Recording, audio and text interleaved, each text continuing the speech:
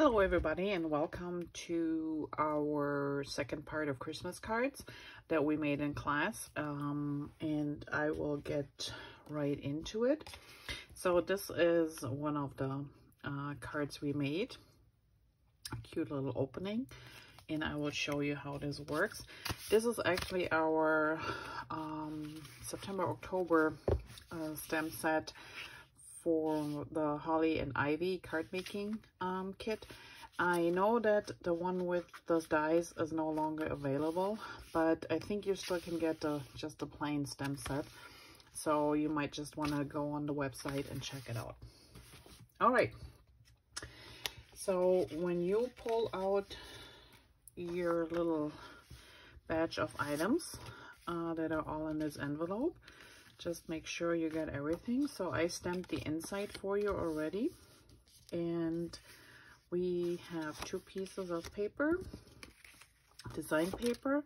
We have a green piece, then a matching white one that has a little uh, design on the back. And I just used a couple of little snowflakes and the glacier ink to do these.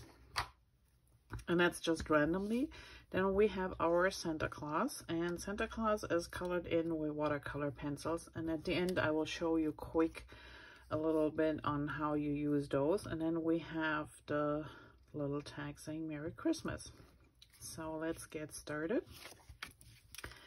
All you want to do is adhere the paper to the card. And like I said, just make sure you have um, the card the right way up.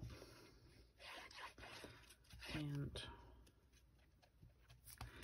we just adhere and I adhere it all the way till the to the fold here.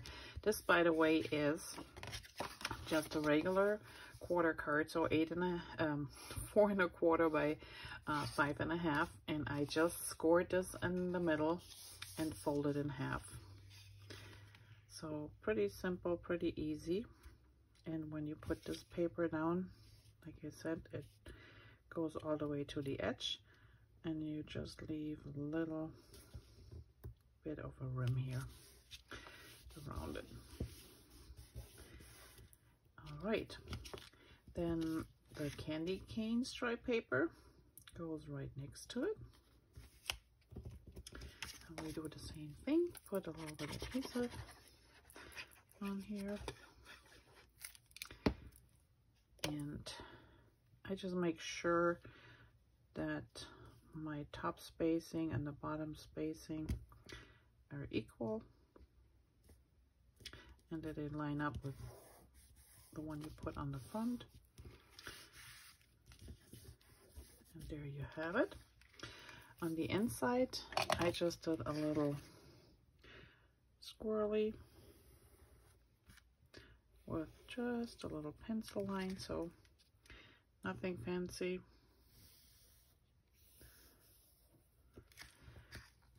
And that will take care of this. Then we adhere, let's put this aside for now. Then we adhere the white paper to the green. And again, this is just in the center, so an even space around all four sides if you're using liquid adhesive, nice thing is you can move it around a little bit. If it happened to be not quite straight like this one was, and then you're good to go.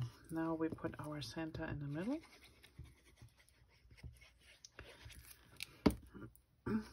And the center, put this down here, goes right in here. And I did raise the little Merry Christmas a little bit. So um, all I did was, because it is hanging over the edge down here, so you can't get adhesive down there. So I just put my little foam dots on the top here.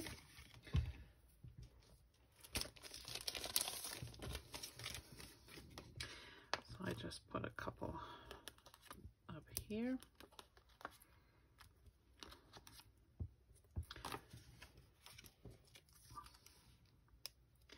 make it stick. And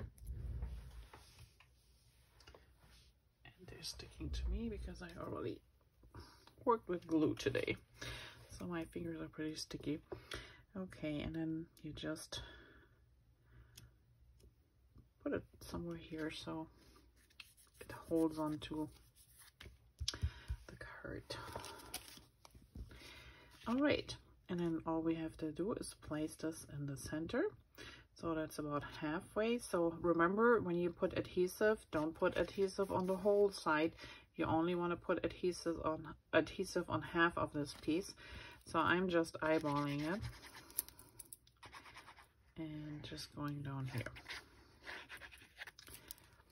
Because if you put the adhesive on the entire piece, well, then you shut your card and you don't want to do that. Okay, just make sure it's nice and attached and voila, our first card is done.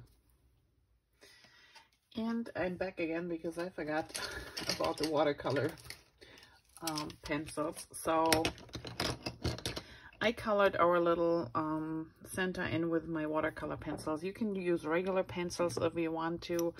Um, I just like the watercoloring because it's easy and it gives a nice um, coloring effect. So I didn't even color in the whole thing and I will just show you this on his pants just so you get the idea. So this is our watercolor pencils and I just go around the edges, especially where there's creases or where you know it's maybe a little bit in the shade, like under his belly here. And I purposefully leave the middle open, and I show you in a second why. And then we do the other side. So it makes for a really quick coloring. And depending on what your watercolor pencils are at home, just give them a try on um, a little piece of cardstock and see how they flow. What I mean by flow is I would just color, I would take my pencil and start really dark streaks and then go lighter.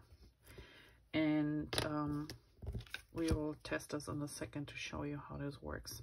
All right, so I dip in water and I really need just a tiny little bit of water. And what I do is I start on the dark areas. And can you see how the water activates the color? And pulls the color out? So just make sure you don't have too much water. And then you fill in your gap and you let it dry. Same on this side, so let's start with the darkest side. And get the color going. And then we just pull it into the middle and there's plenty of water that actually was more water than I needed. And that's pretty much and you can already see where it was darker on the outside it gets lighter in the middle and it gives you an automatic shading in a more 3D um, three-dimensional object. If you think that you're still missing a little bit color you would like more let it completely dry then go in with your pencil, uh, mark the edges, and then go with the water over again. So this is how I did for the center the whole time, and this would be my swap at home. So I would just start using here, and then the water and see how it flows. Because um, this way, not only did you get an idea how your pencils react, but you also will notice if there's a color, for example, that um, you know, where the color doesn't flow as good as like you just saw here in the red. And sometimes you still see the streaks even if you go over with water over it. Um, so that way you know that you might not want to use too much pressure with this particular color.